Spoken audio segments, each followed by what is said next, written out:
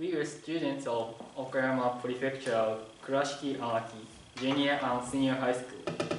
Our topic is application of the dilatancy phenomenon to protective gear.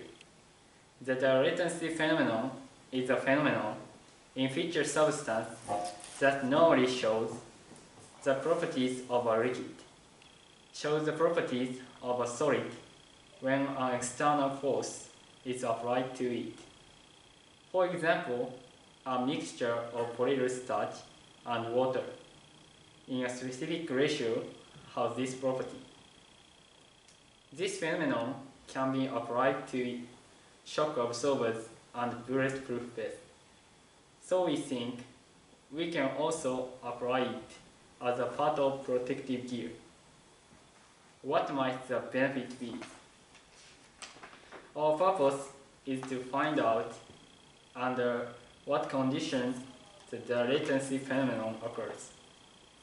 Figure 1 shows the equipment we used. We prepared a liquid mixture of polystyrene and water. Then we dropped the weight into the mixture. To confirm if the phenomenon occurred or not, we took videos using a high frame rate smartphone camera.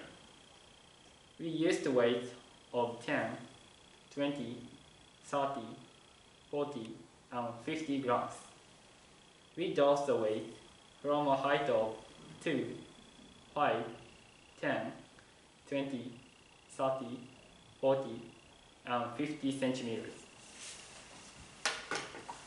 Now, we will discuss the results. In figure 2, the vertical axis shows the kinetic energy of the weight at the point of impact. Figure 2 does not show a clear lower limit on kinetic energy. In figure 3, the vertical axis shows the momentum of the weight at the point of impact. Figure 3 shows a clear lower limit on momentum at around 0.04 kilogram meters per second.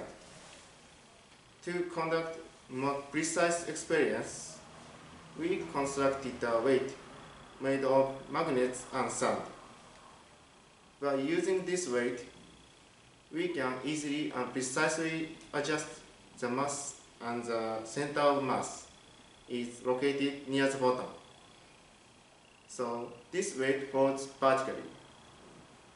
Figure 5 shows that the lower limit of momentum is almost constant with mass.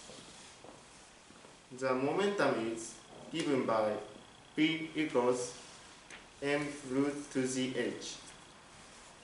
Our experience suggests that the occurrence of dilatancy may largely depend on the momentum.